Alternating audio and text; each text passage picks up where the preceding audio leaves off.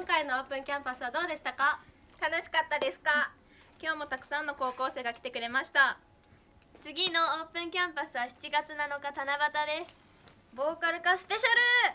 元劇団四季所属のボイストレーナーの方が声量アップの方法を教えてくださいます。無料送迎バスもあります。実はなんと6月30日あるんですオープンキャンパスがさらに6月30日韓国メイク講座があります。無料バスは出ません。せーの。次回もお待ちして